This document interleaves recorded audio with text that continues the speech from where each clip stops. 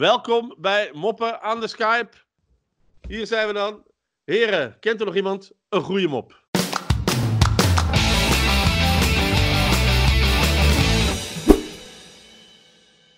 Ja, er is eh, een man en die komt op het gemeentehuis. Ehm, en die zegt, ik wil graag mijn naam laten veranderen, want tegenwoordig gaat dat blijkbaar. Ja, zegt die ambtenaar, ze zeggen wel dat dat gaat, maar dat is toch niet zo simpel. Dat kost ten eerste geld. En ten tweede moet dat ook nog goedgekeurd worden. Hij zei, hoe noemde jij misschien? Hij zei hem, ik heet Jeff Stront.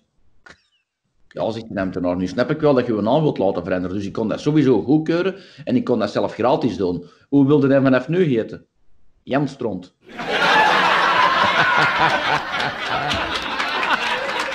Eh, er komt een, een vrouw bij de dokter. En eh, die zegt: Ja, dokter, ik heb toch.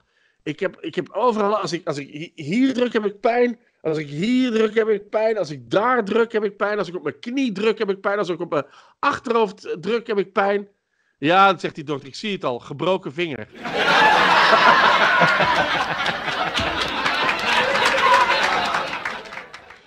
Oké.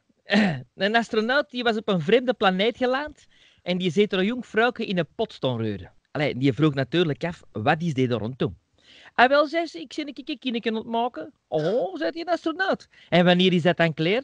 Ah, wel, zei ze, als ik stop met reuren. Allee, zei hij zich. Ja, dat gebeurt bij ons op aarde toch helemaal anders, hè? Oh ja, zei ze, hoe doe de dat dan? Ja, zei hem. Als je wilt, dan wil ik dat bij jou wel eens demonstreren, hè?